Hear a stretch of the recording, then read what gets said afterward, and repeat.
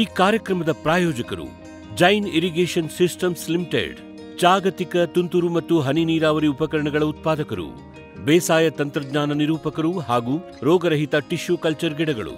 Cadbury's, cocoa ಬೆಳೆಸಿ, ಅಧಿಕ ಆದಾಯ ಗಳಿಸಿ. ವೀಕ್ಷಕರ, ನಮಸ್ಕಾರ. ಇವತ್ತಿನ ಜ್ಞಾನ ವಿಜ್ಞಾನಿ ಕಾರ್ಯಕ್ರಮಕ್ಕೆ ಸ್ವಾಗತ. ಇವತ್ತು ಕೂಡ ನಾವು ಪಶುಪಾಲನೆಗೆ ಸಂಬಂಧಪಟ್ಟಂಥ ಏನೇ ಪಶುಪಾಲನೆ ಹೇಳಿದರೂ ನಮ್ಮ ಕಾಂಟೆಕ್ಸ್ನಲ್ಲಿ ಹೈನುಗಾರಿಕೆ. ಯಾಕೆಂದರೆ ಹೆಚ್ಚು ನಮ್ಮ ಫೋಕಸ್ ಇರೋದು ನಮ್ಮ ಬಿಸ್ನೆಸ್ಸು ನಮ್ಮ ಆದಾಯ ನೋಡೋದು, ನಾವು ಹಾಲು ಉತ್ಪಾದನೆ, ಹಾಲು ಅಥವಾ ಹಾಲಿನ ಉತ್ಪನ್ನಗಳ ಮೇಲೆ ನಾವು ಫೋಕಸ್ ಮಾಡ್ತೀವಿ. ಈಗ ಹಿಂಗೆ ಕೇಳಿದರೆ ನಾವು ಹಿಂದೊಂದು ಕಂತಲ್ಲಿ ಚರ್ಚೆ ಮಾಡ್ತಾ ಇದ್ವಿ. ಏನು ಕೇಳಿದರೆ ಈಗ ಪಶುಪಾಲನೆ ಅಂದರೆ ಹಾಲುಕ್ಕಿಂತ ಈಗ ಕುರಿ, ಕೋಳಿ ಮತ್ತು ಇದರದ್ದು ಆಡು ಈ ಕೆಟಗರಿದು ಹೆಚ್ಚಾಗ್ತಾ ಇದೆ. ನಮ್ಮಲ್ಲೇನು ನಾವು ಬೀಫು ಮಾಡುವಂಥ ದೇಶ ಅಲ್ಲ, ಅದು ಬಿಟ್ರೂ ಈ ಸೆಗ್ಮೆಂಟ್ ಹೆಚ್ಚಾಗ್ತಾ ಇದೆ. ಆದ್ರೂ ಜನಸಾಮಾನ್ಯರ ಭಾಷೆಯಲ್ಲಿ ಅಥವಾ ಹೆಚ್ಚು ಜನ ನೋಡೋದು ಹೈನು, ಪಶುಪಾಲನೆ ಅಂದರೆ ಹೈನುಗಾರಿಕೆ. ಆ ಥರದ್ದೊಂದು ಟ್ರೆಂಡ್ ಖಂಡಿತವಾಗಿದೆ. ಹಾಗಾಗಿ ಇವತ್ತು ಕೂಡ ನಾವು ಅದೇ ಪಶುಪಾಲನೆಗೆ ಸಂಬಂಧಪಟ್ಟಂಥ ಚರ್ಚೆಯಲ್ಲಿದ್ದೀವಿ. ನಮಗೆ ಮಾಹಿತಿಯನ್ನು ಕೊಡೋದಕ್ಕೆ ಖಾಸಗಿ ಪಶುವೈದ್ಯರಾದಂಥ ಪಶು ವೈದ್ಯರಾದಂಥ ಡಾಕ್ಟರ್ ಮನೋಹರ್ ಉಪಾಧ್ಯಾಯ ಅವರು ಇವತ್ತು ಕೂಡ ನಮ್ಮ ಜೊತೆಗಿದ್ದಾರೆ. ಸೊ ಇಲ್ಲಿ ಏನಾಗುತ್ತೆ, ಅವರು ಒಂದಿಷ್ಟು ಅದರಲ್ಲಿ ಪಳಗಿ ಅವರದ್ದೇ ಆದಂಥ ನೀವು ಹಿಂದಿನ ಅವ್ರ ಕಂತನ್ನು ನೋಡೋವರಿಗೆ ಗಮನಿಸ್ತೀರಿ. ಅವರು ಟ್ರೀಟ್ಮೆಂಟ್ ಕೊಡ್ತಾ ಇದು ಅಲ್ಲಿರುವಂಥ ಲೂಫೋಲ್ಗಳು ಅಥವಾ ಏನೋ ಸಮಸ್ಯೆಗಳಿಗೆ ಅವರದ್ದೇ ಆದಂಥ ಒಂದಿಷ್ಟು ಈ ಸಸ್ಯ ಆಧಾರಿತ, ನೈಸರ್ಗಿಕ ವಸ್ತು ಆಧಾರಿತ ಒಂದಿಷ್ಟು ಪ್ರೊಡಕ್ಷನ್ ಕೂಡ ಮಾಡ್ಕೊಂಡಿದ್ದಾರೆ. ಇವತ್ತು ನಾವು ಅದೇ ಥರದ್ದು ಚರ್ಚೆಯಲ್ಲಿದ್ದೀವಿ. ಒಟ್ಟಾರೆ ಆರೋಗ್ಯ ಸಮಸ್ಯೆಗಳು ಜನರಲ್ ಆಗಿ ಏನು? ನಿರ್ದಿಷ್ಟ ನಾವು ರೋಗಗಳ ವಿಷಯಕ್ಕೆ ಈ ಹಂತಗಳಲ್ಲಿ ಬರೋದು ಬೇಡ. ಆರೋಗ್ಯ ಸಮಸ್ಯೆಗಳನ್ನು ಏನು ಎದುರಿಸ್ತಾರೆ? ಜೊತೆಗೆ ಅದಕ್ಕೆ ಕಾಮನ್ನಾಗಿ ಅವರು ಏನು ಪರಿಹಾರ, ಒಬ್ಬ ವೆಟರ್ನರಿ ಡಾಕ್ಟ್ರಾಗಿ ಏನು ಮಾಡ್ತಾರೆ? ಜೊತೆಗೆ ಅವರ ಉತ್ಪನ್ನವನ್ನು ಏನು ತಂದಿದ್ದಾರೆ? ಹೇಳೋದನ್ನು ಚರ್ಚೆ ಮಾಡೋಣ. ಬನ್ನಿ ಡಾಕ್ಟರ್ ಮನೋಹರ ಉಪಾಧ್ಯಾಯ ಅವ್ರನ್ನ ಭೇಟಿಯಾಗೋಣ. ಡಾಕ್ಟರ್ ನಮಸ್ಕಾರ. ನಮಸ್ಕಾರ. ಇವತ್ತಿನ ಜ್ಞಾನ ವಿಜ್ಞಾನಿ ಕಾರ್ಯಕ್ರಮಕ್ಕೆ ತಮಗೆ ಸ್ವಾಗತ. ಸರ್ ನಾ ಈಗ ನಾವು ಕಾಮನ್ ಆಗಿ ಹೇಳೋದು ಏನಂದರೆ ನಮಗೆ ಸ್ವಾಭಾವಿಕವಾಗಿ ಎಲ್ಲರಿಗೂ ಬದುಕಕ್ಕೆ ದುಡ್ಡು ಬೇಕು ಹೆಚ್ಚು ಹೆಚ್ಚು ದುಡ್ಡು ಬೇಕು. ಇವತ್ತಿನ ಕಾಲಕ್ಕಂತೂ ಭಾಳ ಹೆಚ್ಚಿಗೆ ಬೇಕು. ಎಲ್ಲರಿಗೂ ಕಾರು ಅದು ಎಲ್ಲ ಜೀವನ ಕ್ರಮ ಬದಲಾದಂಗೆ. ಸೊ ನಮಗೆ ಎಲ್ಲದರಲ್ಲೂ ದುಡ್ಡೇ ಕಾಣ್ತದೆ ನೀವು ಏನೇ ನೋಡಿದ್ರೆ ನನಗೆ ಇದರಲ್ಲಿ ಎಷ್ಟು ದುಡ್ಡು ತಪ್ಪು ಅಂತ ಹೇಳೋಕ್ಕಾಗೋದಿಲ್ಲ. ಅದು ಇದು. ಸೊ ಹಂಗಾಗಿ ಏನಾಯಿತು ಯಾವುದೇ ಒಂದು ಹಸು ಹೈನುಗಾರಿಕೆ ವಿಷಯ ಬಂದ ಕೂಡಲೇ ಎಷ್ಟು ಹಾಲು ಕೊಡ್ತದೆ? ಅದಕ್ಕೆ ಅದರಲ್ಲಿ ನಾನು ದಿನ ಎಷ್ಟು ದುಡಿಬೋದು ಹೇಳೋದಷ್ಟೇ ನೋಡಿದ್ವಿ. ಎಚ್ ಎಫ್ ಅಂದರೆ ಹಾಂ ಇಪ್ಪತ್ತು ಲೀಟ್ರ್ ಹಾಲು ಕೊಡ್ತದೆ. ಇನ್ನೊಂತಂದರೆ ಇಷ್ಟು ಕೊಡ್ತದೆ. ಅದಕ್ಕೆ ಇಷ್ಟು. ಇದನ್ನೇ ನೋಡಿದ್ವಿ ಹೊರತು ಅದಕ್ಕೆ ನಾವೇನು ಮಾಡಬೇಕು? ವಿಚಾರ ಮಾಡಲಿಲ್ಲ. ಹೌದು. ಅದು ಮುಖ್ಯವಾಗಿ ಬಹುಶಃ ಇವತ್ತಿನ ಎಲ್ಲ ಹೈನುಗಾರಿಕೆ ಸಂಬಂಧಪಟ್ಟಂಥ ಸಮಸ್ಯೆಯ ಮೂಲ ಅಲ್ಲಿದೆ ಅಂತ ಹೇಳ್ತೀನಿ. ನಾನು ಅನ್ಕೋತೀನಿ. ಈಗ ನಿಮಗನ್ಸುವಂತೆ ಈ ಒಟ್ಟಾರೆ ಇದರಲ್ಲಿ ಹೊಸ ಬ್ರೀಡ್ಗಳನ್ನು ನಾವು ಅಡಾಪ್ಟ್ ಮಾಡ್ಕೊಂಡು ಈ ಕ್ಷೀರೋದ್ಯಮ ಹೇಳೋದೊಂದು ಯಾವಾಗ ಶುರುವಾಯಿತು? ಕ್ಷೀರಕ್ರಾಂತಿ ಅಂತೇಳಿ ಅದೇನೋ ಭ್ರಾಂತಿ ಅಂತೇಳಿ ಏನಾರು ಹೇಳಿ. ಅದರ ಮೂಲ ಸಮಸ್ಯೆಗಳೇನು? ಮೂಲ ಸಮಸ್ಯೆಗಳು ನೋಡಿ ನಾವು ಈಗ ಒಂದು ಮೂವತ್ತೈವತ್ತು ವರ್ಷಗಳ ಹಿಂದೆ ಹೋದರೆ ಈ ವಿದೇಶಿ ತಳಿಗಳು ನಮ್ಮಲ್ಲಿ ಬರುವ ಮೊದಲು ನಮ್ಮಲ್ಲಿ ದೇಸಿ ತಳಿಗಳೆಲ್ಲ ಇದ್ದಿತ್ತು ಹೆಚ್ಚಿನ ಆವಾಗ ಅವ್ರನ್ನ ಕಟ್ಟಿ ಸಾಕುವ ಕ್ರಮ ಇರಲಿಲ್ಲ. ಮೆಂದು ಬರ್ತಿದ್ವು. ಸಂಜೆ ಮಾತ್ರ ಕೊಟ್ಟಿಗೆ ಹಾಂ ಅವ್ರಿಗೆ ಬೇಕಾಗುವ ನಾರಿನಂಶ ಬೇಕಾದ ವೈವಿಧ್ಯಮಯ ನಾರಿನಂಶ ಸಿಗ್ತಾ ಇತ್ತು. ಅದು ದ್ವಿದಳ ಧಾನ್ಯದ್ದಿರ್ಬೋದು ಏಕದಳದ್ದಿರ್ಬೋದು ಆಗ ಹೊಟ್ಟೆ ತುಂಬ್ತಾ ಇತ್ತು. ಮತ್ತು ಬೇರೆ ಬೇರೆ ಸೋರ್ಸ್ ಮೂಲಗಳಿಂದ ಸಿಗ್ತಾ ಇತ್ತು. ಆಗ ಒಂದು ಮಟ್ಟಿನ ಸಮತೋಲನ ಅವ್ರು ಕೊಡುವ ಈಲ್ಡಿಗೆ. ಅವ್ರು ಕೊಡುವ ಹಾಲಿನ ಪ್ರಮಾಣಕ್ಕೆ ಅದು ಸಾಕಾಗ್ತಾ ಇತ್ತು. ಮತ್ತೆ ಮತ್ತೆ ಕೆಲಸ ಹೋಗ್ಬೇಕು ಅಂದ್ರೆ ಮಣ್ಣು ತಿಂತಿದ್ದು. ಮಣ್ಣು ತಿಂತಾ ಇತ್ತು ಕಾರಣ ಖನಿಜಗಳು ಏನೋ ಸಿಗ್ತಾ ಇತ್ತು. ಸಿಗ್ತಾ ಇತ್ತು. ಮತ್ತೆ ಏನೋ ಸಣ್ಣ ಪುಟ್ಟ ಅನಾರೋಗ್ಯ ಆದರೂ ಯಾವುದು ಮರದ್ದು ಪೊದೆದು ಗಿಡದ್ದು ಸೊಪ್ಪು ತಿಂದು ಅವ್ರಿಗೆ ಅವ್ರ ಅವ್ರಿಗೆ ಕೂಡ ಆ ರೀತಿ ಒಂದು ಹುಡುಕುವ ಸಾಮರ್ಥ್ಯ ಇತ್ತು. ಇತ್ತು ಸೆನ್ಸ್ ಇತ್ತು. ಇತ್ತು. ಅಲ್ಲ ಈಗ ಪ್ರಕೃತಿ ಈಗಾದ್ರೂ- ದತ್ತವಾದ್ದು ಅದು ಈಗಾದ್ರೂ ಈಗ ಬೆಕ್ಕು ಹೌದು. ಅದಕ್ಕೆ ಹೊಟ್ಟೆ ತುಳಸಿದ್ರೆ ಹುಲ್ಲು ತಿಂದು ಅಂತ ಗರ್ಕಿ ಹುಲ್ಲು ಭದ್ರಮುಷ್ಟಿಯೋ ತಿಂದು ಅದನ್ನ ಸರಿ ಮಾಡ್ಕೊಳ್ತದೆ. ಹೌದು. ಅದೇ ಅದೇ ಕೆಪಾಸಿಟಿ ನಮ್ಮ ಹಸುಗಳಿಗೂ ಇದ್ದು. ಇತ್ತು ಆ ಸ್ವಾತಂತ್ರ್ಯ ಇತ್ತು. ಆಯ್ಕೆ ಮಾಡ್ಕೊಂಡು ತಿಂದ್ಕೊಂಡು ಮನೆಗೆ ಬರುವ ಸ್ವಾತಂತ್ರ್ಯ ಇತ್ತು. ಸಹಜ ಹೆರಿಗೆ ಆಗ್ತಾ ಇತ್ತು. ಎಲ್ಲ ಅವಾಗ ಸಮಸ್ಯೆ ಇರಲಿಲ್ಲ. ಹೈನುಗಾರಿಕೆ ಅನ್ನೋ ಶಬ್ದವೇ ಇರಲಿಲ್ಲ. ಬರೀ ಪಶು ಸಂಗೋಪನೆ ಮಾತ್ರ ಇತ್ತು. ಸಮಸ್ಯೆ ರೈತನಿಗೆ ಮನೆಗೆ ಬಂದ್ರೆ ಮನೆಗೆ ಕಟ್ಟಿ ಹಾಕೋದು ಹುಲಿ ಗಿಲಿ ಹಿಡಿಯೋದು ಎಲ್ಲ ಸಿಂಪಲ್ ವಿಷಯ ಹೇಳ್ತೇನೆ. ನೋಡಿ ನಮಗೆ ಎರಡು ಕಾಲು. ನಾವು ದಿವಸ ಐದು ಹತ್ತು ಕಿಲೋಮೀಟರ್ ನಡಿತೇವೆ ಅಂತ ಇಟ್ಕೊಳ್ಳಿ ಬೇರೆ ಬೇರೆ ಕೆಲಸ ಸಂಬಂಧ. ಅವ್ರು ನಾಲ್ಕು ಕಾಲು. ನಮ್ಗಿಂತ ಜಾಸ್ತಿ ನಡಿಬೇಕು ಲೆಕ್ಕ. ಮೊದಲು ಆ ಇದಿತ್ತು. ಕಾರಣ ತಿಂದದ್ದು ಜೀರ್ಣ ಆಗೋದು ಸೂರ್ಯನಿಗೆ ಮೈ ಒಡ್ಡೋದು. ಸೂರ್ಯನಿಗೆ ಮೈ ಒಡ್ಡಿದಾಗ ಥೈರಾಯ್ಡ್ ಗ್ರಂಥಿ ಗರಿಷ್ಠ ಕೆಲಸ ಮಾಡ್ತದೆ. ಆವಾಗ ಎಲ್ಲ ಅಂಡಾಶಯದಿಂದ ಹಿಡಿದು ಎಲ್ಲ ಗ್ರಂಥಿಗಳು ಆಪ್ಟಿಮಮ್ ಗರಿಷ್ಠ ಕೆಲಸ ಮಾಡ್ತಾ ಇದ್ದು. ಅಥವಾ ಆ ಭಾಗಗಳೆಲ್ಲ ಇವಾಲ್ವ್ ಆಗಿರೋದು ಆ ಕಂಡೀಷನ್ನಲ್ಲಿ. ಹೌದು ಈ ಆರ್ ಸಿ ಸಿ ಕೊಟ್ಟಿಗೆ ಒಳಗೆ ಅಲ್ಲ. ಅಲ್ಲ. ಯಾವಾಗ ನಾವು ಕಟ್ಟಿ ಸಾಕ್ಲಿಕ್ಕೆ ಶುರು ಮಾಡಿದ್ದೀವಿ ಲೆಕ್ಕಾಚಾರ ಮಾಡಿ ಇದಕ್ಕೆ ಆರೇ ಸೂಡಿ ಹುಲ್ಲು ಸಾಕು ಹತ್ತು ಸೂಡಿ ಹುಲ್ಲು ಸಾಕು ಹೊಟ್ಟೆ ತುಂಬಿಸೋದು ಬೇರೆ ಹಿಂಡಿಯಿಂದ ಬೂಸದಿಂದ ಅಂತ ಮಾಡಿದ್ದೇವೆ. ಆವಾಗ ಸಣ್ಣ ಮಟ್ಟಿನ ಅಜೀರ್ಣವು ಮತ್ತೆ ಬೇರೆ ಎಲ್ಲ ಸಮಸ್ಯೆಗಳು ಶುರುವಾಯಿತು. ಯಾಕಂದ್ರೆ ಒಂದು ನಡೆದಾಡೋ ಕೆಲಸ ಇಲ್ಲ. ಬಿಸಿಲಿನ ಮೈ ತಾಗುದಿಲ್ಲ. ಬಿಸಿಲಿಗೆ ಮೈ ಒಡ್ಡುವುದಿಲ್ಲ. ಮ ಕೂತಲ್ಲೇ ಕೂತ್ಕೊಳ್ಳೋದು ನಿಂತಲ್ಲೇ ನಿಂತ್ಕೊಳ್ಳೋದು. ಓ ಕೆಲಸ ಮೇವಿನ ಆಯ್ಕೆ ನಮ್ದು ಹೊರತು ಅದರದ್ದಲ್ಲ. ಅದರದ್ದಲ್ಲ. ವೈವಿಧ್ಯ ಇಲ್ಲ. ಹಾಕಿದ್ ತಿನ್ಬೇಕು. ಅದು ಹಾಕಿದ ಹಿಂಡಿ ಬೂಸ ಅದರಲ್ಲಿ ಫಂಗಸ್ ಬಂದದಿದ್ರೆ ಸೇವಿಸೋದು ಅನಿವಾರ್ಯ. ಹೊಟ್ಟೆ ತುಂಬಬೇಕಂದ್ರೆ ಇನ್ನು ತಿನ್ಲಿಕ್ಕೆ ಆಗುದಿಲ್ಲ ಅಡ್ಡ ವಾಸನೆ ಅಂತಿದ್ರೆ ಒಬ್ಬ ಬಿಟ್ರೆ ಅದು ಸಂಚಕಾರ. ಬೇರೆ ಬಂದ್ರೆ ಆಯ್ತು ಇಲ್ದಿರ ಇಲ್ಲ. ಹುಲ್ಲಿನ ರಾಶಿ ಹಾಗೆ. ಅದರಲ್ಲಿ ಮುಗ್ಗಲು ಬಂದು ಫಂಗಸ್ ಇಲಿ ಮೂತ್ರ ಎಲ್ಲ ಇದ್ದು ಇದು ಸಿಕ್ಕಿದ್ರೆ ಸಿಕ್ಕಿದ್ರೆ ಆಯ್ತು ಇಲ್ದಿದ್ರೆ ಅದು ಇಲ್ಲ. ಎಲ್ಲವೂ ಲೆಕ್ಕಾಚಾರದ ಬದುಕಾಗಿರುವಾಗ ನೀವು ಇಪ್ಪತ್ತು ಲೀಟ್ರಿಗೆ ಹಾಲಿಗೆ ಅಥವಾ ಮೂವತ್ತು ಲೀಟ್ರ್ ಹಾಲಿಗೆ ಇಷ್ಟೇ ಫುಡ್ ಕೊಡೋದೊಂದು ಲೆಕ್ಕಾಚಾರ ಆಗುವಾಗ ಒಂದು ಮಿತಿಯಲ್ಲಿ ಸ್ವಲ್ಪ ದಿವಸ ಕೊಡ್ತದೆ. ಮತ್ತೆ ಹಾಲು ಇಳಿದ್ರೆ ಅದು ಮತ್ತೆ ಏರುವ ಸ್ಥಿತಿಯಲ್ಲೇ ಇಲ್ಲ. ಕಾರಣ ನಾವು ಅಳತೆ ತೂಕದಲ್ಲಿ ಕೊಡ್ಬೋದು ಹೊರತು ಗುಣಮಟ್ಟದಲ್ಲಿ ನಾವು ಎಂದು ಮೇಲೆ ಹೋಗಲೇ ಇಲ್ಲ. ಹೋಗಲೇ ಇಲ್ಲ. ಓಕೆ ಆವಾಗ ದೇಹದಲ್ಲಿ ಒಂದು ರೋಗ ನಿರೋಧ ಶಕ್ತಿ ಅಂತ ಇರ್ತದೆ. ಅದಕ್ಕೆ ಬೇಕಾದ ಕಣಗಳ ಒಂದು ಉತ್ಪಾದನೆ ಆಗಲಿ ಮೇಂಟೈನ್ ಆಗೋದಾಗಲಿ ಅದಕ್ಕೆ ಬೇಕಾದ ಆಹಾರ ಪೋಷಕಾಂಶಗಳು ಖನಿಜಗಳು ಜೀವಸತ್ವಗಳು ನಾರಿನಾಂಶ ಫ್ಯಾಟ್ ಕೊಬ್ಬಿನಂಶ ಎಲ್ಲ ಪ್ರೋಟೀನ್ ಅಂಶದಿಂದ ಹಿಡಿದು ಎಲ್ಲದೂ ಬೇಕಾಗ್ತದೆ. ನಮ್ಗೆ ಯಾಕೆ ಬೇಕೋ ಅವರಿಗೂ ಬೇಕು. ಅದನ್ನು ನಾವು ಸಮತೋಲನ ಸಮಸ್ಯೆ ನಮ್ಮಲ್ಲೂ ಬಂದಿದೆ. ನಾವು ಬಿಸಿಲಿಗೆ ಹೋಗೋದನ್ನೇ ವಿಟಮಿನ್ ಡಿ ಕೊರತೆ. ಹೌದು. ವ್ಯಾಯಾಮ ಮಾಡ್ತಾನೆ ಇಡೀ ದಿನ ಎ ಸಿ ಹಾಕೊಂಡು ಕುರ್ಚಿ ಮೇಲೆ ಕುತ್ಕೊಂಡು ಸೊಂಟ ನೋವು ಇದು ಪ್ರಾಣಿಗಳಿಗೊಂದಲ್ಲ ನಮಗೂ ಮಾಡ್ಕೊಂಡಿದೀವಿ ಜೊತೆ ನಮ್ಮ ಜೊತೆಗೆ ಇದ್ದಂತ ಪ್ರಾಣಿಗಳಿಗೂ ಅದೇ ಕೆಲಸ ಮಾಡಿದೀವಿ ಹೌದು. ಅಂದ್ರೆ ಒಂಥರ ಮೆಷಿನ್ ತರ ಯಂತ್ರ ಆಗಿ ನಾವು ನೋಡ್ಲಿಕ್ಕೆ ಶುರು ಮಾಡಿದ ನಂತರ ಆರೋಗ್ಯ ಹದಗೆಡುವುದು ಸಹಜ. ಅದು ಮನುಷ್ಯ ಇರಲಿ ಪ್ರಾಣಿ ಇರಲಿ. ಆವಾಗ ಸರ್ವೇ ಸಾಮಾನ್ಯ ಮುಖ್ಯವಾಗಿ ಅಜೀರ್ಣ. ಹೊಟ್ಟೆಗೆ ಗ್ಯಾಸ್ ತುಂಬುವಂಥದ್ದು ಸಗಣಿ ತೆಳು ಹಾಕೋದು ಅಥವಾ ತಿಂದದ್ದು ಮೈಗೆ ಹಿಡಿಯುವುದಿಲ್ಲ. ಎಲ್ಲ ತೆಳುವಾಗಿ ಹೋಗ್ತಾ ಇದೆ. ಆಗ ಹಾಲು ಉತ್ಪಾದನೆಗೆ ಪೋಷಕಾಂಶಗಳು ಸಾಕಾಗುದಿಲ್ಲ ಯಾಕಂದ್ರೆ ಬೇದಿಯಾಗಿ ಹರಿದು ಹರಿದು ಹೋಗ್ತಾ ಇದೆ. ಕೆಮ್ಮ ಜ್ವರ ಮತ್ತು ರೋಗ ನಿರೋಧ ಶಕ್ತಿ ಕಡಿಮೆ ಆದ್ಕೊಳ್ಳಿ ಯಾವ ವೈರಸ್ ಕಾಯಿಲೆ ಬರ್ಬೋದು ಕಾಲುಬಾಯಿ ರೋಗದ ಇದು ಬರ್ಬೋದು ಅಥವಾ ಲಂಬಿ ಚರ್ಮಗಂಟು ರೋಗ ಬರ್ಬೋದು ಯಾವುದು ಬರ್ಬೋದು. ಈಗ ವೈರಸ್ ಇದೆ ಕ್ರಿಮಿ ಇದೆ ಎಂಬ ಕಾರಣಕ್ಕಾಗಿ ಕಾಯಿಲೆ ಬರಬೇಕಂದ ಇಲ್ಲ. ಈಗ ರೋಗ ನಿರೋಧಕ ಶಕ್ತಿ ಕೇಳಿ ಈಗ ಸೊಳ್ಳೆ ನಿಮಗೂ ಕಚ್ಚುತ್ತೆ ನನಗೂ ಕಚ್ಚುತ್ತದೆ ನಂಗೆ ಮಲೇರಿಯಾ ಬರುತ್ತೆ ನಿಮಗೆ ಮಲೇರಿಯಾ ಬರೋದಿಲ್ಲ. ಕಾರಣ ವೈಯಕ್ತಿಕವಾದ ಒಂದು ರೋಗ ನಿರೋಧ ಶಕ್ತಿ ಅಂತ ಒಂದು ಇರ್ತದೆ. ಇರುವಂತ ವ್ಯತ್ಯಾಸ ನಾವೊಬ್ಬರಿಗೆ ಇನ್ನೊಬ್ಬರಿಗೆ ಈಗ ನೋಡಿ ಹಟ್ಟಿ ಅಂತ ಹೇಳಿದ ಮೇಲೆ ಸಗಣಿ ಮೂತ್ರ ಎಲ್ಲ ಇದ್ದೇ ಇರ್ತದೆ. ಅದು ನೀವು ಎಂತ ದೊಡ್ಡ ಹೈಟೆಕ್ ಇರಲಿ ದೇಸಿ ಸ್ಟೈಲ್ ಇರಲಿ. ಬೀಳಲೇಬೇಕು ಆಗ ಅಲ್ಲಿ ಕ್ರಿಮಿಗಳು ಮತ್ತು ಸರ್ವತ್ರ. ಯಾವ ಅಮೆರಿಕದಲ್ಲೂ ಇರ್ತದೆ ಭಾರತದಲ್ಲೂ ಇರ್ತದೆ ನಮ್ಮ ಊರಿನಲ್ಲೂ ಇರ್ತದೆ. ಆ ರೋಗ ನಿರೋಧ ಶಕ್ತಿ ಕಡಿಮೆ ಆದಾಗ ಏನಾಗ್ತದೆ? ಸಾಧಾರಣ ಇರುವಂಥ ಕ್ರಿಮಿಗಳೇ ಮೊಲೆ ತೊಟ್ಟೊಳಗಡೆ ಹೋಗಿ ಕೆಚ್ಚಲು ಬಾವು ಬರುತ್ತೆ. ಬರ್ತದೆ. ಆಗ ನೀವು ಸಮತೋಲನ ಆಹಾರ ಇಲ್ಲ. ಅದಕ್ಕೇನು ಕರು ಹಾಕ್ಬೇಕು ವರ್ಷಕ್ಕೊಂದು ಕರು ಹಾಕ್ಬೇಕಂತೇನು ಅದಕ್ಕೇನು ಹರಕೆ ಇಲ್ಲ. ಅದಕ್ಕೇನಿಲ್ಲ. ನಿಮಗೆ ಬೇಕು ಹೊರತು ಅದಕ್ಕಿಲ್ಲ. ನಾವು ಕೊಡಲಿಲ್ಲ ಹಾಗೆ ಕೊಡೋದಿಲ್ಲ. ಗರ್ಭ ನಿಲ್ಲೋದಿಲ್ಲ ಮುಂದೆ ಹೋಗ್ತಾ ಇದೆ. ಹತ್ತು ಸರಿ ಇನ್ಸಮಿನೇಷನ್ ಮಾಡೋದು ಹದಿನೈದು ಸರಿ ಮಾಡೋದು ಹಾರ್ಮೋನ್ ಚಿಕಿತ್ಸೆ ಮಾಡೋದು. ನಾವು ಮೂಲಭೂತವಾಗಿ ಯಾವ್ದನ್ನು ಸರಿ ಮಾಡ್ಕೊಳ್ಳೇ ಇಲ್ಲ. ಚಿಕಿತ್ಸೆ ದುಡ್ಡು ಹಾಕ್ತೇವೆ ಬಿಟ್ಟರೆ ಮೂಲಭೂತವಾದ ಈ ವಿಷಯ ಬಗ್ಗೆ ತಲೆ ಹಾಡ್ಕೊ ಹಾಕ್ಕೊಳ್ಳೋದೇ ಇಲ್ಲ. ಆವಾಗ ಸಮಸ್ಯೆಗಳು ಇಲ್ಲಿ. ಪರಿಹಾರ ಆಗೋದು ಹೇಗೆ?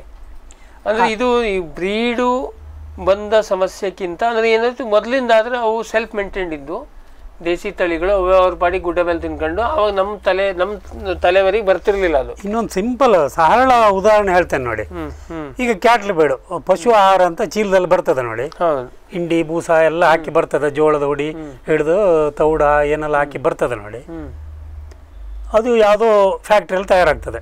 ಅಲ್ಲಿಂದ ಅಂಗಡಿಗೆ ಬರುವಾಗ ಹದಿನೈದು ದಿವಸ ಆಯ್ತಾ ಅಂತ ಇಟ್ಕೊಳ್ಳಿ. ಫ್ರೆಶ್ ಬಂದರೆ ಭಾರಿ ಒಳ್ಳೇದು. ಅಂಗಡಿಯಲ್ಲಿ ಮತ್ತೊಂದು ಹದಿನೈದು ದಿವಸ ಕೊಳಿತು ಅಂದ್ರೆ ವ್ಯಾಪಾರ ಅವನು ಮೂಟೆ ಗಟ್ಟಲೆ ತರೋದು. ಅವರಿಗೂ ಲೋಡ್ ಗಟ್ಟಲೆ ಬಂದ್ರೆ ಮಾತ್ರ ಬೆಲೆ ಕಡಿಮೆ ಸಿಗ್ತದೆ. ಎರಡೆರಡು ಚೀಲ ಫ್ಯಾಕ್ಟ್ರಿ ಕಳಿಸೋದಿಲ್ಲ. ಅಲ್ಲಿ ಒಂದು ಹದಿನೈದು ದಿವಸ ನಿಲ್ತಾ? ಕೊನೆ ಮನೆ ಬಾಗ್ಲಿ ಬರುವಾಗ ಟೆಂಪೋದಲ್ಲಿ ತಂದ್ರೆ ಮಾತ್ರ ಬಾಡಿಗೆ ಕಡಿಮೆ ಆಗುತ್ತೆ. ಎರಡೆರಡು ಚೀಲ ರಿಕ್ಷಾದಲ್ಲಿ ತರೋದು ಅಂದ್ರೆ ಕಾಸ್ಟ್ಲಿ ಆಗ್ತದೆ. ಸೊ ಇಲ್ಲಿ ಒಂದು ಹದಿನೈದು ದಿನ ಮೂವತ್ತು ದಿವಸ ಬೀಳ್ತು ನೀವು ಎಂಥ ಆಹಾರ ವಸ್ತು ಇರಲಿ. ಹದಿನೈದು ದಿವಸ ಮೂವತ್ತು ದಿವಸ ನಲವತ್ತೈದು ದಿವಸ ಅದು ಚೀಲದಲ್ಲಿ ಉಳಿರಲಿ ಬಾಯಿ ಕಟ್ಟಿರಲಿ ಬಾಯಿ ತೆರೆದಿರಲಿ ಅದರಲ್ಲಿ ಫಂಗಸ್ ಕಣ್ಣಿ ಕಾಣದ ಫಂಗಸ್ ಬೆಳೆದೇ ಬೆಳೀತದೆ. ಅಫ್ಲೋಟಾಕ್ಸಿನ್ ಅಂತಾರೆ ಮೈಕ್ರೋಟಾಕ್ಸಿನ್ ಅಂತ ಹೇಳಿದ್ರೆ ಬೇರೆ ಬೇರೆ ಆ ಫಂಗಸ್ಗಳು ಅವುಗಳ ವಿಷ ವಸ್ತುಗಳು ಟಾಕ್ಸಿನ್ಸ್ ಆಗ್ತವೆ. ಆಹಾರದ ವಿರುದ್ಧ ಪದಾರ್ಥಗಳು. ಹೌದು ಅದೇನಾಯಿತು? ಅದನ್ನು ಸೇವಿಸಿದ ತುಂಬ ಮುಗ್ಲು ಬಂದ ಮೇಲೆ ಅವಕ್ಕೂ ತಿನ್ನುವ ಆಸಕ್ತಿ ಇರೋದಿಲ್ಲ ವಾಸನೆ ಬಂದಾಗ. ಸೊ ವಾಸನೆ ಇಲ್ಲ ಪರಿಮಳ ಇದೆ ಆದರೆ ಅದರಲ್ಲಿ ಈ ಫಂಗಸ್ ಇದೆ ಅಂದರೆ ಆ ಫಂಗಸ್ಗಳು ಉತ್ಪತ್ತಿ ಮಾಡೋ ವಿಷದಿಂದಾಗಿ ಲಿವರ್ ಘಾಸಿ ಆಗ್ತದೆ ಕರುಳು ಒಳಪದ್ರ ಘಾಸಿ ಆಗ್ತದೆ ಕಿಡ್ನಿ ಘಾಸಿ ಆಗ್ತದೆ. ನೀವು ಆರೋಗ್ಯ ಹೇಗೆ ಸಮಾಧಾನ ಇಟ್ಕೊಳ್ಳೋದು? ಸುಲಭದಲ್ಲಿ ಫಸ್ಟಿಗೆ ಅಜೀರ್ಣ ಆಗೋದು ಗ್ಯಾಸ್ ಆಗೋದು ತಿಂದದ್ದು ಮೈಗೆ ಹಿಡಿಯುವುದಿಲ್ಲ. ಇನ್ನು ಲಿವರ್ ಫಂಕ್ಷನ್ ಕಡಿಮೆ ಆದಾಗ ಏನೇ ನೀವು ಇಂಡಿಯಾ ಹಾಕಿದ್ರು ಬಲರಾಮ್ ಗೋವಾಗೆ ಇರ್ತದೆ. ಇರ್ತದೆ. ಆವಾಗ ದುಡ್ಡಿಗೆ ಆಹಾರ ಮೂಲಕ ದುಡ್ಡು ಹರಿದು ಹೋಯ್ತು ಬಿಟ್ರೆ ಉತ್ಪಾದನೆ ಬಿಡಿ. ಆ ಆರೋಗ್ಯವನ್ನೇ ಗಟ್ಟಿ ಇಟ್ಕೊಳ್ಳುವ ಸ್ಥಿತಿಯಲ್ಲಿ ಇಲ್ಲ ಓಕೆ. ವಿಶ್ವದಾದ್ಯಂತ ಪೇಟೆಂಟ್ ಪಡೆದ ನ್ಯಾನೋ ತಂತ್ರಜ್ಞಾನದಲ್ಲಿ ತಯಾರಾದ ನೂವಾಲ್ಗಿ ದ್ರಾವಣ. ನೂವಾಲ್ಗಿ ಉಪಯೋಗಿಸಿದ ಮೇಲೆ ತುಂಬ ಇಳುವರಿನೂ ಬಂದಿದೆ. ಕಾಳು ಮೆಣಸಿಗಂತರೂ ಭಾಳ ಚೆನ್ನಾಗಿ ಬರುತ್ತೆ. ರೇಷ್ಮೆ ಎಲೆನೂ ಚೆನ್ನಾಗಿ ಬರ್ತದೆ ಗಿಡಗಳು ತುಂಬ ಚೆನ್ನಾಗಿ ಬೆಳವಣಿಗೆ ಆಯಿತು. ಯಾವುದೇ ರಾಸಾಯನಿಕ ಅಥವಾ ವಿಶೇಷ ಗೊಬ್ಬರಗಳ ಗೊಡವೆ ಇಲ್ಲದೆ ಎಲ್ಲ ಬೆಳೆಗಳಲ್ಲಿ ಉತ್ತಮ ಗುಣಮಟ್ಟದ ಅಧಿಕ ಫಸಲನ್ನು ಪಡೆಯಿರಿ. ಯಾವಾಗಲೂ ನನ್ನ ಇರೋವರೆಗೂ ನೀವು ಅಲ್ಲಿಗೆ ಅಂತ ಬಿಟ್ಟು ಬಾಳಲ್ಲ ಅಂತ ಒಂದು ಭರವಸೆ ಕೊಡ್ತೀನಿ. ಜೈನ್ಸ್ ಜಗತ್ತಿನ ಅತಿದೊಡ್ಡ ಅಂಗಾಂಶ ಕೃಷಿ ಪ್ರಯೋಗಾಲಯ ಹಾಗೂ ಟಿಸಿ ಗಿಡಗಳ ಉತ್ಪಾದಕರು. ಸಮೃದ್ಧ ಇಳುವರಿಗೆ ಜೈನ್ ಜಿ ನೇನ್ ಯಾಲಕ್ಕಿ, ನೇಂದ್ರನ್ ಹಾಗೂ ಕೆಂಪು ಬಾಳೆ ಸಸಿಗಳು. ದಾಳಿಂಬೆ, ಭಗವತಳಿಯ ರೋಗಮುಕ್ತ ಸಸಿಗಳು. ಲಕ್ನೋ ಫಾರ್ಟಿ ನೈನ್ ಪೇರಳೆ, ಸ್ಟ್ರಾಬೆರಿ ಇತ್ಯಾದಿ ಗಿಡಗಳು ಯೋಗ್ಯ ಬೆಲೆಯಲ್ಲಿ. ಅಂಗಾಂಶ ಕೃಷಿಯ ಜಾಗತಿಕ ಬ್ರ್ಯಾಂಡ್ ಜೈನ್ ಕೋಕೋ ಈಗ ಕರ್ನಾಟಕದ ವಾಣಿಜ್ಯ ತೋಟದ ಬೆಳೆಗಳಲ್ಲೊಂದು. ಅಧಿಕ ಇಳುವರಿಯ ಹೈಬ್ರಿಡ್ ಎಫ್ ಒನ್ ಗಿಡಗಳು ಕ್ಯಾಡ್ಬರಿ ನರ್ಸರಿಗಳಲ್ಲಿ ಮಾತ್ರ ಲಭ್ಯ. ಗಿಡ ಬೇಕಾದವರು ಕ್ಯಾಡ್ಬರಿ ಅಧಿಕಾರಿಗಳನ್ನು ಸಂಪರ್ಕಿಸಿ.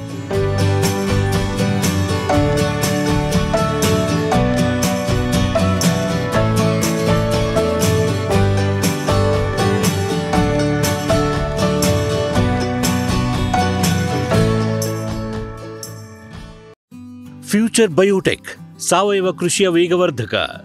ಪೋಷಕಾಂಶ ಪೂರೈಕೆಗೆ ಎನ್ಪಿಕೆ ಕಲ್ಚರ್, ವ್ಯಾಮ್ ಪಿಎಸ್ಪಿ ಮತ್ತು ಕೆಎಂಬಿ ಜೈವಿಕ ರೋಗ ಕೀಟ ನಿಯಂತ್ರಣಕ್ಕೆ ಟ್ರೈಕೋಡರ್ಮಾ ಸೊಡೋಮನಾಸ್. ಸಾವಯವ ಗೊಬ್ಬರ ಉತ್ಪಾದನೆಗೆ ಕಾಂಪೋಸ್ಟ್ ಕಲ್ಚರ್. ಹೂವು, ಕಾಯಿ ಉದುರುವ ಸಮಸ್ಯೆಗೆ ಕಾಮಧೇನು ಮತ್ತು ಸತ್ವ. ಮಣ್ಣಿನ ಆರೋಗ್ಯ ವೃದ್ಧಿಗೆ ಫ್ಯೂಚರ್ ಬಯೋಟೆಕ್ ಧಾರವಾಡ.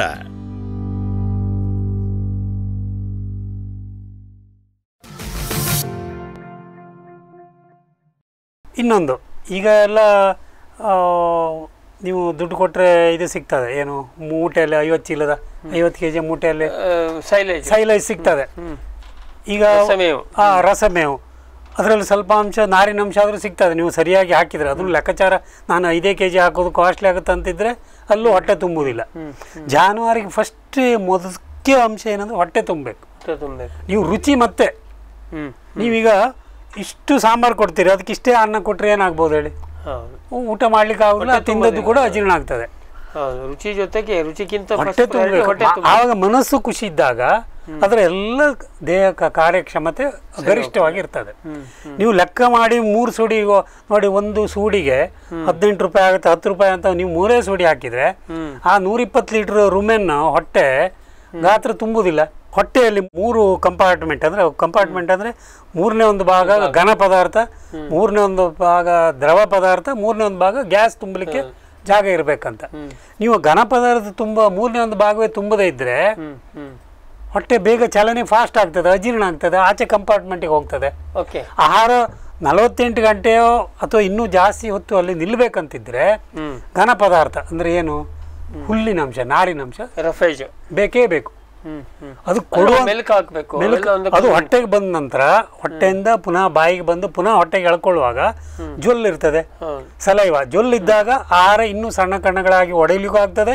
ಎನ್ಸೈಮ್ಸ್ ಕಿಣ್ವಗಳು ಅಂತ ಹೇಳ್ತೇವೆ. ಅದು ಹೊಟ್ಟೆಗೆ ಹೋಗಿ ಜೀರ್ಣಕ್ಕೆ ಪೂರಕವಾಗ್ತದೆ.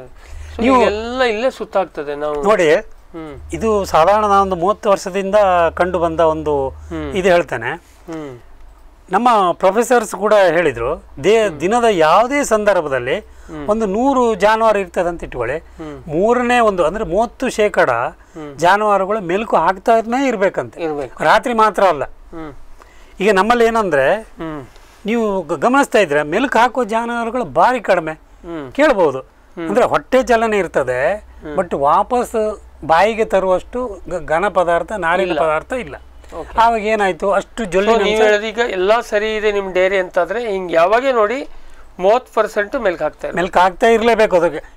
ಆ ಮೆಲ್ಕ್ ಹಾಕೋ ಪ್ರಕ್ರಿಯೆ ನಿಂತು ಹೋಯ್ತು ಅಲ್ಲಿ ಡೈರಿ ಇಂಡಸ್ಟ್ರಿಯ ಒಂದು ಅವನತಿ ಅವನತಿ ಶುರು ಆಯ್ತು ಅಂತ ಲೆಕ್ಕ. ಇದರಿಂದ ಏನಾಯಿತು? ಕಂಟಿನ್ಯೂಸ್ ಅಸಿಡಿಟಿ ಈಗ ನಮಗೆ ಹೇಗೆ ಮನುಷ್ಯರಲ್ಲಿ ಅಸಿಡಿಟಿ ಆಗ್ತದೆ? ಎಲ್ಲವೂ ಬೇಗ ಫರ್ಮೆಂಟ್ ಆಗೋದು. ಫರ್ಮೆಂಟ್ ಆಗ್ಲಿಕ್ಕೂ ಒಂದು ಸಮಯ ಬೇಕಲ್ಲ. ನೀವು ಜಾ ಬೇಗ ಫರ್ಮೆಂಟ್ ಆದ ಕೂಡ ಅಸಿಡಿಟಿ ಆಗ್ತದೆ.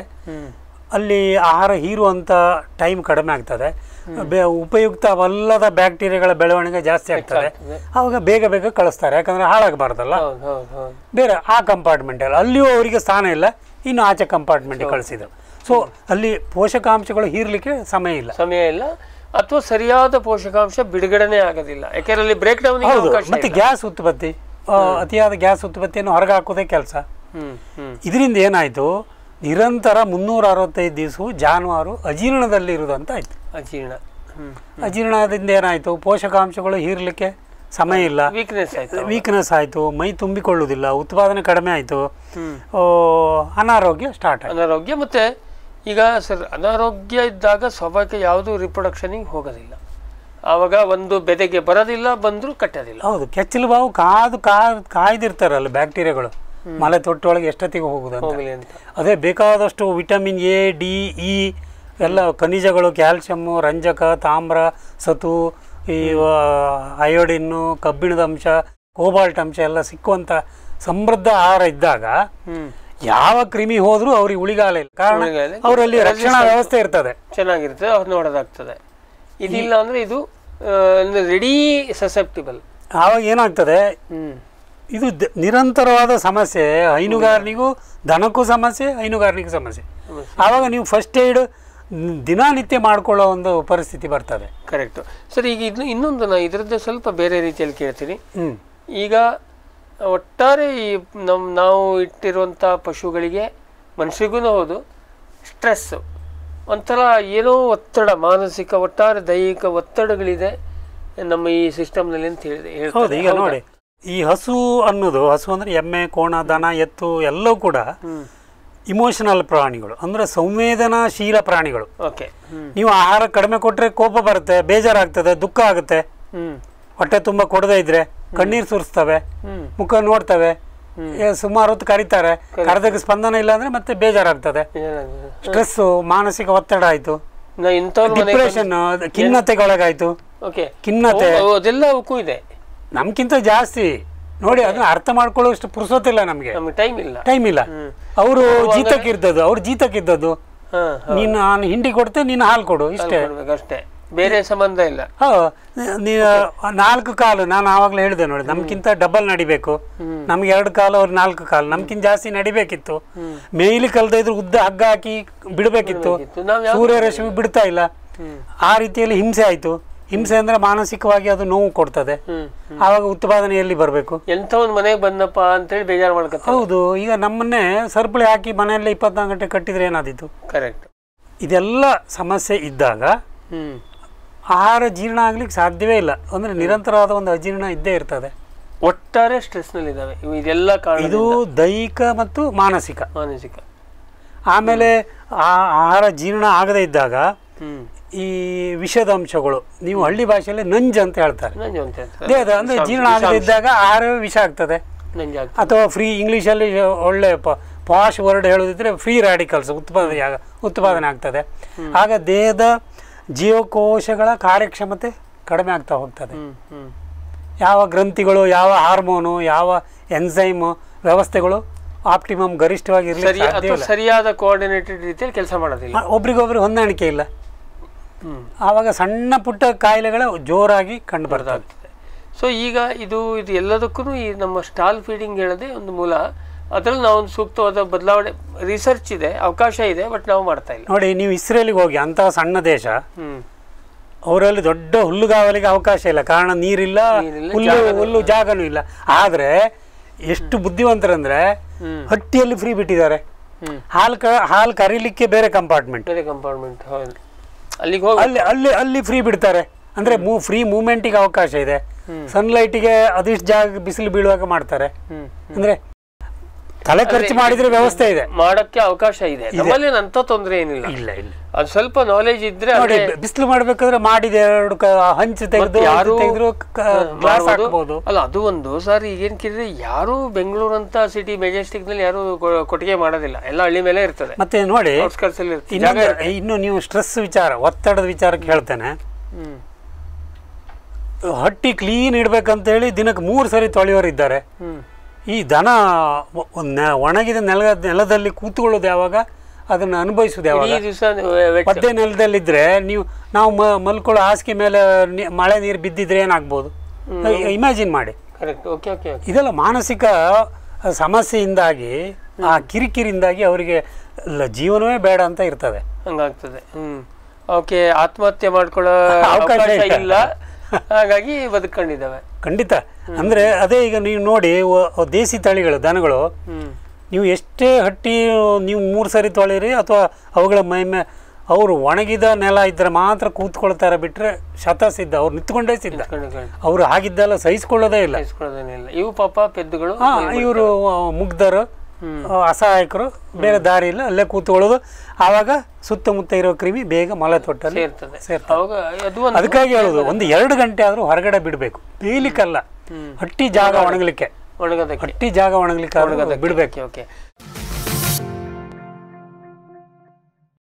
ಭೂಮಿದೀಪ ಸಾರಜನಕ ರಂಜಕ ಒದಗಿಸುವ ಸೂಕ್ಷ್ಮಾಣುಜೀವಿ ಮಿಶ್ರಿತ ಸಮೃದ್ಧ ಸಾವಯವ ಎರೆಗೊಬ್ಬರ.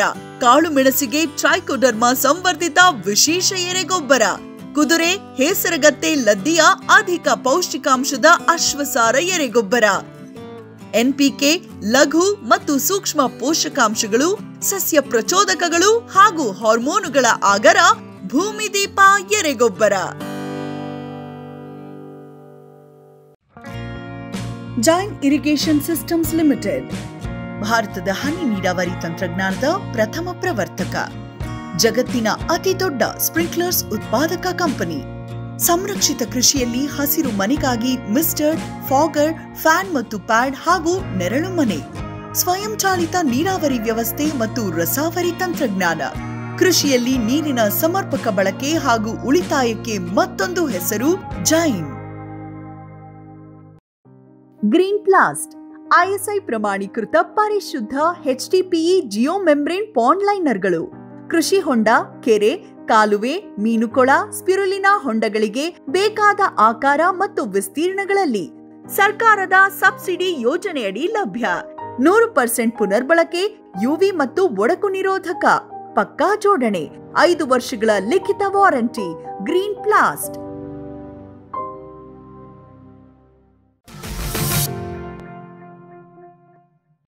ಸೊ ಈಗ ಸರ್ ನಾನು ಕೇಳ್ಪಟ್ಟೆ ನೀವು ಇದೆಲ್ಲ ಒಟ್ಟಾರೆ ಈ ಸಮಸ್ಯೆಯನ್ನು ಹಿತಮಿತವಾಗಿ ಉಳಿಸೋದಕ್ಕೆ ಇದನ್ನು ನೀವು ಬೋವಿಟೋನ್ ವೆಟ್ ಅಂತೇಳಿ ಏನೋ ಒಂದು ಉತ್ಪನ್ನವನ್ನು ಮಾಡಿದ್ದೀರಿ ಅಂತ ನಾನು ಕೇಳ್ಪಟ್ಟೆ.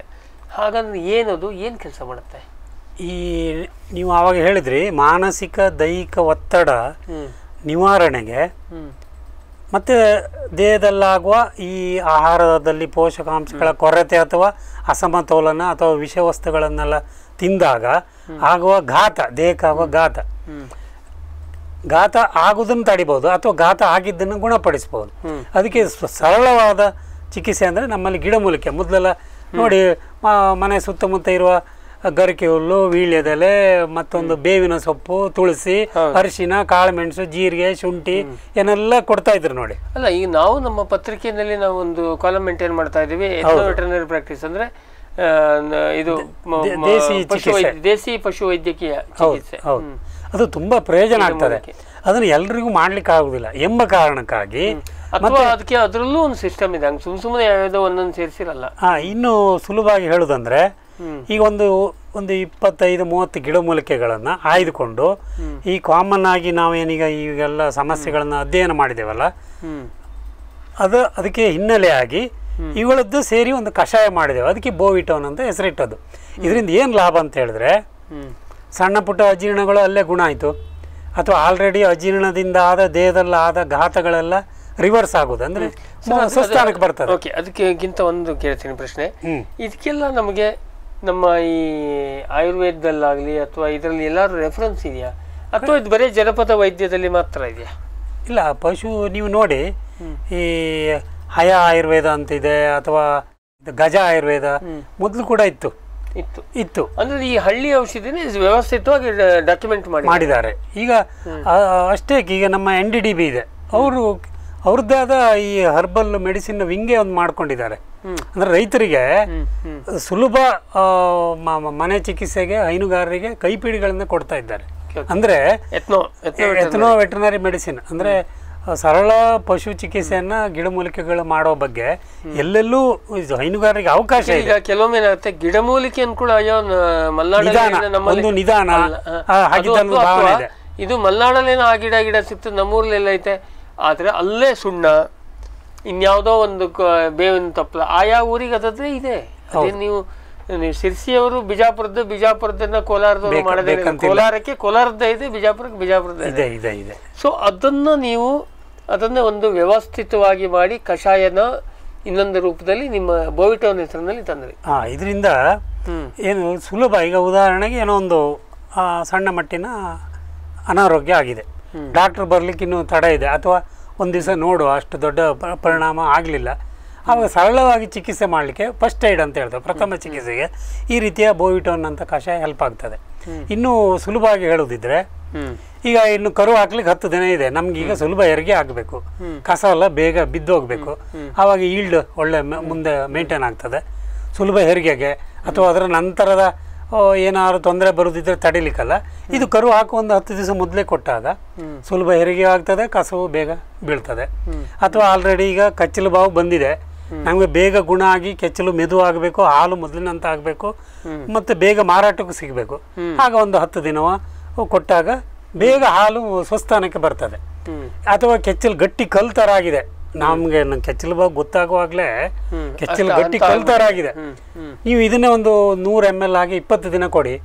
ಒಳ್ಳೆ ಹತ್ತಿಯ ಉಂಡೆ ಆಗಿ ಸಾಫ್ಟ್ ಆಗಿ ಎಲ್ಲ ಆಹಾರದ ಮುಖಾಂತರ ಆಹಾರದ ಮೂಲಕ ನೀವು ಕುಡಿಸ್ಬೋದು ಅಥವಾ ಆಹಾರದ ಜೊತೆಯಲ್ಲಿ ಕೊಡ್ಬೋದು. ಕೊಡ್ಬೋದು. ಅಲ್ಲ ಇದು ಮೂಲತಃ ಏನು ಕೆಲಸ ಮಾಡ್ತದೆ? ಇದೆಲ್ಲ ಏನು ಮಾಡ್ತದೆ ಅಂತ ಹೇಳಿದ್ರೆ ಈ ಎಲ್ಲ ಈಗ ಉದಾಹರಣೆ ಇದರಲ್ಲಿ ಒಂದು ಇಪ್ಪತ್ತೈದು ಬಗೆಯ ಗಿಡಮೂಲಿಕೆ ಇದೆ. ಇಪ್ಪತ್ತೈದು ಬಗೆಯ ಇದೆ. ಇದೇನು ಮಾಡ್ತದೆ? ನೀವು ಹಸಿಯಾಗಿ ಕೊಟ್ಟಾಗ ಅಥವಾ ರಾ ಹರ್ಬ್ಸ್ ಅಂತ ಹೇಳ್ತೇವೆ ಅಂದರೆ ಆಗ ತಾನೇ ನಮಗೆ ಸಿಕ್ಕಿದ ಹರ್ಬ್ ಕೊಟ್ಟಾಗ ದೇಹದಲ್ಲಿ ಅದು ಪುನಃ ಇನ್ನೊಂದು ಔಷಧವಾಗಿ ಮಾರ್ಪಾಟಾಗಬೇಕು ಮೆಟಬಲೈಟ್ ಆಗ್ಬೇಕಂತ ಹೇಳ್ತಾರೆ. ಅದೇ ನಾವು ಆಲ್ರೆ ಆಲ್ರೆಡಿ ಇದನ್ನು ಬೇಯಿಸಿ ಕಷಾಯ ಮಾಡಿ ಕೊಟ್ಟಾಗ ಆ ಕಷಾಯದಲ್ಲಿ ಆ ಔಷಧೀಯ ಅಂಶ ರೆಡಿ ಇರ್ತದೆ. ದೇಹಕ್ಕೆ ಹೀರುದು ಮಾತ್ರ ಕೆಲಸ. ಅದು ಜ್ವರವನ್ನು ತೆಗಿತದೆ ಅಜೀರ್ಣವನ್ನು ತೆಗಿತದೆ ಗ್ಯಾಸ್ ಆಗೋದನ್ನ ತಡೀತದೆ. ಮತ್ತೆ ತಿಂದ ಆಹಾರವನ್ನು ಜಾಸ್ತಿ ಮೈಗೆ ಹಿಡಿಯುವಾಗ ಮಾಡ್ತದೆ. ಮತ್ತೆ ಈ ಅಲೋಪತಿ ಆಧುನಿಕ ವೈದ್ಯ ಪದ್ಧತಿಯಲ್ಲಿ ಈ ಬ್ಯಾಕ್ಟೀರಿಯಾ ವೈರಸ್ ಫಂಗಸ್ ಅಲ್ಲ ಅಂತ ಏನು ಹೇಳ್ತವೆ. ಅವರನ್ನ ಕೊಲ್ಲುವ ಔಷಧಿ ಇದೆ ಬಿಟ್ರೆ ಒಂದು ಉಪವಸ್ತು ಅದಲ್ಲ. ಟಾಕ್ಸಿನ್ಸ್ ಅಂತ ಹೇಳ್ತಾರೆ ಟಾಕ್ಸಿನ್ ನ್ಯೂಟ್ರಲೈಸ್ ಮಾಡುವಂತ ಔಷಧ ಇಲ್ಲ. ಅದೇ ನೀವು ಆ ಅಲೋಪತಿ ಬಿಟ್ರೆ ಆಯುರ್ವೇದ ಅಥವಾ ಗಿಡಮೂಲಿಕೆ ಔಷಧ ಅಥವಾ ಹೋಮಿಯೋಪತಿಯಲ್ಲೂ ಉಂಟು. ಓಕೆ. ಈಗ ಉದಾಹರಣೆ ಉದಾಹರಣೆಗೆ ಹೇಳ್ತಾನೆ ಕೆಚ್ಚಲು ಬಾವು ತಯಾರು ಮಾಡೋದು ಒಂದು ಬ್ಯಾಕ್ಟೀರಿಯಾ ಕ್ರಿಮಿ. ಕ್ರಿಮಿ ಅದರಷ್ಟಿಗೆ ಆಟ ಮಾಡಿತು ಹೋಯ್ತು. ಅಲ್ಲಿ ಉಪದ್ರ ಕೊಡುದು ಯಾವ್ದು ಗೊತ್ತಾ? ಬ್ಯಾಕ್ಟೀರಿಯಾ ಉತ್ಪತ್ತಿ ಮಾಡಿದ ವಿಷಾವಸ್ತು. ಟಾಕ್ಸಿನ್ಸ್. ಟಾಕ್ಸಿನ್ಸ್. ತ್ಯಾಜ್ಯ. ಟಾಕ್ಸ್ ಹಾ ತ್ಯಾಜ್ಯ. ಆ ಟಾಕ್ಸಿನ್ಸ್ ಎನ್ನುವುದು ಗ್ರಂಥಿಯನ್ನು ಗಟ್ಟಿ ಮಾಡೋದು ಜ್ವರ ಬರುವಾಗ ಮಾಡೋದು ನೀವು ಆಂಟಿಬಯೋಟಿಕ್ ಕೊಟ್ಟಿರಂತ ಇಟ್ಕೊಳ್ಳಿ. ಟ್ಯೂಬ್ ಇರಲಿ ಇಂಜೆಕ್ಷನ್ ಇರಲಿ. ಬ್ಯಾಕ್ಟೀರಿಯಾವನ್ನು ಸಾಯಿಸ್ತಾ ಹೊರತು ಟಾಕ್ಸಿನ್ ಅನ್ನ ನಿರ್ನಾಮ ಮಾಡೋದಿಲ್ಲ. ಅದು ಅಲ್ಲಿ ಬ್ಯಾಕ್ಟೀರಿಯಾ ಸಾಯುವಾಗ ಇನ್ನಷ್ಟು ವಿಷ ಉತ್ಪತ್ತಿ ಮಾಡಿಯೇ ಸಾಯುವುದು. ಅಂದ್ರೆ ಡ್ಯಾಮೇಜ್ ಡ್ಯಾಮೇಜ್ ಆ ಡ್ಯಾಮೇಜನ್ನು ತೆಗಿಬೇಕಿದ್ರೆ ನಮಗೆ ಈ ಈ ರೀತಿಯ ಗಿಡಮೂಲಿಕೆ ಔಷಧ ತುಂಬ ಮುಖ್ಯ. ಹಾಗಾಗಿ ಹೇಳುದು ಹತ್ತು ದಿವಸದಲ್ಲಿರುವ ಗುಣ ಆಗಬಹುದಾದ ಕಾಯಿಲೆ ಐದೇ ದಿವಸದಲ್ಲಿ ಗುಣ ಮಾಡುವಂತ ಸಾಮರ್ಥ್ಯ ಇಂಥ ಟಾನಿಕ್ಗಳಿಗಿದೆ ಬೋವಿಟೋನ್ ಅಂತವರಿಗಿದೆ. ಐದು ದಿವಸದಲ್ಲಿ ಟಾನಿಕ್ ಅಂದ್ರೆ ಇದು ಒಂದು ಔಷಧ ಸಪೋರ್ಟಿವ್. Support supportive. ನೀವು ಅದನ್ನ ಒಂದು ಚಿಕಿತ್ಸಾ ರೂಪ ಅನ್ನೋದಕ್ಕಿಂತ ಫುಡ್ ಅಡ್ ಚಿಕಿತ್ಸಾ ರೂಪ. ಈಗ ಏನು ಕಾಯಿಲೆ ಇಲ್ಲದಾಗಿಯೂ ಇದು ತಿಂಗಳಿಗೆ ಒಂದು ಹತ್ತು ದಿನ ಕೊಟ್ರೆ ಆರೋಗ್ಯ ಮೇಂಟೈನ್ ಆಗ್ತಾ ಹೋಗ್ತದೆ. ಈಗ ಹತ್ತು ದಿನ ಕೊಡೋದು ಒಂದು ಇಪ್ಪತ್ತು ದಿನ ಕೊಡಬಾರ್ದು. ಪುನಃ ಹತ್ತು ದಿನ ಕೊಡುದು ಒಂದು ಇಪ್ಪತ್ತು ದಿನ ಕೊಡಬಾರ್ದು. ಇದರಿಂದ ಏನಾಗ್ತದೆ? ಕಂಟಿನ್ಯೂಸ್ ನಿರಂತರವಾಗಿ ಕಂಟಿನ್ಯೂಸ್ ಕೊಟ್ಟರೆ ದೇಹವು ಅದನ್ನು ಒಂದು ಔಷಧ ಆಗಿ ಗ್ರಹಿಸೋದಿಲ್ಲ ಆಹಾರ ವಸ್ತುವಾಗಿ ಗ್ರಹಿಸ್ತದೆ. ನೀವು ದಿವಸ ಇಪ್ಪತ್ತು ಗ್ರಾಮ್ ಜೀರಿಗೆ ತಿನ್ನಿ ನಿಮಗೆ ಜೀರಿಗೆಯಲ್ಲಿರುವ ಔಷಧಿ ಅಂಶ ದೇಹ ಅದಕ್ಕೆ ಒಗ್ಗಿಕೊಂಡು ಅದನ್ನು ಔಷಧಿಯಾಗಿ ಗ್ರಹಿಸುವುದಿಲ್ಲ ಆಹಾರ ವಸ್ತುವಾಗಿ ಗ್ರಹಿಸ್ತಾರೆ ಅದರಲ್ಲಿರುವ ಫ್ಯಾಟ್ ಪ್ರೋಟೀನ್ ಕಾರ್ಬೋಹೈಡ್ರೇಟ್ ಮಾತ್ರ ಲೆಕ್ಕ ಹಿಡಿತದೆ ಹೊರತು. ಅಂದ್ರೆ ದೇಹ ಅದಕ್ಕೆ ಇಮ್ಯೂನ್ ಆಗಿದೆ. ಇಪ್ಪತ್ತು ಗ್ರಾಮ್ ಜೀರಿಗೆಗೆ ಇಮ್ಯೂನ್ ಆಗಿಬಿಟ್ಟಿದೆ. ಆಗ್ಬಿಟ್ಟಿದೆ. ಮತ್ತೆ ನೀವು ಔಷಧಿ ಕೊಡಬೇಕಿದ್ರೆ ಇಪ್ಪತ್ತೈದು ಗ್ರಾಮ್ ಮೂವತ್ತು ಐವತ್ತು ಗ್ರಾಮ್ ತಿನ್ಬೇಕು. ಅಷ್ಟೊತ್ತಿಗೆ ಬೇರೆ ಏನೋ ಸಮಸ್ಯೆ ಬರ್ತದೆ. ಸೊ ಅದಕ್ಕೆ ನೀವು ಹೇಳಿದ್ರೆ ಆ ಥರ ರುಟೀನ್ ಆಗಬಾರ್ದು ಅನ್ನೋ ಕಾರಣಕ್ಕೆ ಹತ್ತು ದಿನ ಕೊಡೋದು ಇಪ್ಪತ್ತು ದಿನ ಬೇಡ ಈಗ ನಿಮಗೆ ಒಂದು ನಿರಂತರವಾಗಿ ಇಪ್ಪತ್ತು ಹತ್ತು ಹಸು ಐದು ಹಸು ಇಪ್ಪತ್ತು ಹಸು ಇದೆ. ಪದೇ ಪದೇ ನಮಗೆ ಈ ಕಾಯಿಲೆ ಕಷಾಯದಿಂದ ಉಪದ್ರ ಆಗ್ತದೆ ಅಂತಿದ್ರೆ ತಿಂಗಳಿಗೆ ಹತ್ತು ದಿನ ಕೊಡ್ತಾ ಬನ್ನಿ. ಇಪ್ಪತ್ತು ದಿನ ಕೊಡಲೇಬೇಡಿ. ಆಗ ಹಸುವಿನ ಆರೋಗ್ಯ ಗರಿಷ್ಠವಾಗಿ ಮೇಂಟೈನ್ ಆಗಿರ್ತದೆ. ಓಕೆ. ಅದು ನಿರಂತರವಾಗಿ ಹಾಲು ಒಳ್ಳೆ ಕೊಡ್ತಾ ಇರ್ತದೆ. ಆದಷ್ಟು ಕಾಯಿಲೆಗಳು ಹತ್ತಿರ ಬರುವುದಿಲ್ಲ. ಬಂದ್ರೂ ಬೇಗ ಗುಣ ಆಗ್ತದೆ. ಸಗಣಿ ಭಾಳ ಗಟ್ಟಿ ಇದ್ದು ನಿಮಗೆ ಒಂದು ಒಟ್ಟು ಹಟ್ಟಿಯ ಆರೋಗ್ಯ ನಿಮಗೆ ದ್ಯೋತಕ ಓಕೆ. ಕಾಣ್ತದೆ. ಒಂಥರ ಸ್ಟ್ರೆಸ್ ಫ್ರೀ ಖಂಡಿತ. ಅಂದರೆ ಸ್ಟ್ರೆಸ್ ನಮಗೆ ತೆಗಿಲಿಕ್ಕೆ ಆಗದೇ ಇದ್ರು ಸ್ಟ್ರೆಸ್ ಸ್ಟ್ರೆಸ್ ಒತ್ತಡದಿಂದ ಆಗುವ ದುಷ್ಪರಿಣಾಮ ಎಲ್ಲ ಒಮ್ಮೆಗೆ ಸರಿ ಆಗ್ತದೆ ಬ್ಯಾಕ್ಟೀರಿಯಾವನ್ನು ಕೊಲ್ಲೋ ಶಕ್ತಿ ಇದಕ್ಕಿಲ್ಲ ಆದರೆ ಅದರಿಂದ ಬರುವಂಥ ಉತ್ಪಾದನೆ ಆಗುವಂಥ ವಿಷ ವಸ್ತುವನ್ನು ನ್ಯೂಟ್ರಲೈಸ್ ಮಾಡ್ತದೆ. ಒಂದು ಬ್ಯಾಕ್ಟೀರಿಯಾವನ್ನು ಒಂದಿದ್ದದನ್ನ ಒಂದೇ ಆಗಿರುವಾಗ ಮಾಡ್ಬೋದು ಹೊರತು ಎರಡು ಇದ್ದಿದಾಗ ಮಾಡೋದಿಲ್ಲ. ಯಾಕಂದ್ರೆ ಅಲ್ಲಿ ಸೂಕ್ತವಾದ ವಾತಾವರಣ ಇಲ್ಲ. ಈ ಕರುಳಲ್ಲಿ ದೇಹದಲ್ಲಿರಲಿ. ಬ್ಯಾಕ್ಟೀರಿಯಾ ಸ್ಟ್ಯಾಟಿಕ್ ಅಂತ. ಖಂಡಿತ. ಈಗ ಇಲಿ ಜ್ವರದ ಕ್ರಿಮಿ ದೇಹಕ್ಕೆ ಹೋಯ್ತು. ಬಟ್ ಇಲಿ ಜ್ವರ ಬಾರದಿದ್ದಾಗೆ ತಡೆಯುವಷ್ಟು ಶಕ್ತಿ ಬೋಯಿಟೋನಿಗಿದೆ ನೀವು ಒಂದು ನೀವೊಂದು ಹತ್ತು ದಿವಸ ಕೊಡಿ. ಇಲಿ ಜ್ವರದ ಬ್ಯಾಕ್ಟೀರಿಯಾ ದೇಹದಲ್ಲಿ ಮಲ್ಟಿಪ್ಲೈ ಆಗಲಿಕ್ಕೆ ಬಿಡುವುದಿಲ್ಲ. ಕಾರಣ ದೇಹದ ರೋಗದ ಶಕ್ತಿ ಆಪ್ಟಿಮಮ್ ಆಗಿದೆ. ಕಡಿಮೆ ಮಾಡೋದು ರೋಗ ನಿರೋಧಕ ಶಕ್ತಿಯನ್ನು ಹೆಚ್ಚು ಮಾಡೋದು. ಒಟ್ಟಾರೆ ಆರೋಗ್ಯ ಉಳ್ಕೊಳ್ಳುವಂಗೆ ಈಗ ಉಣುಗು ಉಣುಗಿಯಿಂದ ರಕ್ತಹೀನತೆ ಬರುತ್ತೆ. ಬೆಬೇಶಿಯೋಸಿಸ್ ಅಂತ ತೈಲೇರಿಯಾ. ಜ್ವರ ಬರ್ತದೆ ಅನಾಪ್ಲಾಸ್ಮ ಜ್ವರ ಬರ್ತದೆ ಬೆಬೇಶಿಯ ಜ್ವರ ಬರ್ತದೆ ಈ ರಕ್ತ ಮೂತ್ರ ರೋಗ ಎಲ್ಲ ಬರ್ತದೆ ನೋಡಿ. ಅದನ್ನೆಲ್ಲ ಅದರಿಂದ ಬೇಗ ಗುಣಮುಖವಾಗಿ ಮಾಡ್ತದೆ ಹಾಲಿನ ಇಳುವರಿಯನ್ನು ಮೇಂಟೈನ್ ಮಾಡ್ತದೆ. ಮತ್ತೆ ರೋಗ ಬಂದಾಗಲೂ ಕೊಟ್ಟಾಗ ಗುಣ ಆಗ್ಲಿಕ್ಕೆ ಹತ್ತು ದಿವಸ ಇರಿದ್ರೆ ಈ ತರ ಔಷಧ ಜೊತೆ ಜೊತೆಗೆ ಅಲೋಪತಿ ಮದ್ದಿನ ಜೊತೆಯಲ್ಲೇ ಕೊಟ್ಟಾಗ ಐದೇ ದಿವಸದಲ್ಲಿ ಮೂರು- ಮೂರು ದಿವಸದಲ್ಲಿ ಗುಣ ಆಗುತ್ತೆ ನೀವು ಹೇಳೋದು ಇದು ಔಷಧಿ ಅಲ್ಲ. ಅಥವಾ ನೀವು ಇದನ್ನು ಕೊಟ್ಟಾಕ್ಷಣ ಯಾವುದೇ ಔಷಧಿಯನ್ನು.